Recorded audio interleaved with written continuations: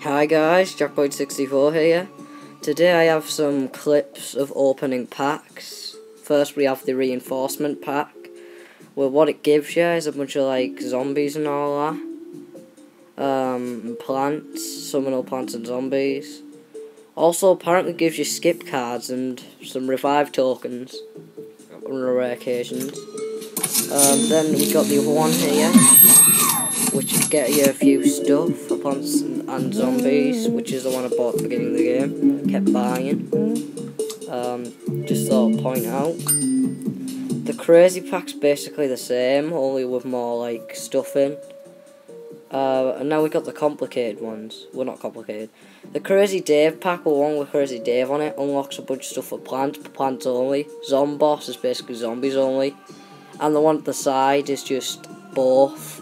Um, and this is the character pack, which unlocks five pieces for a character, but it's pointless when like you've already got like four pieces for it. Uh, yeah, the pictures have gone off and clips and all that. I'm still going to be talking. And yeah, I think I'm just going to end here. See you in the next vid.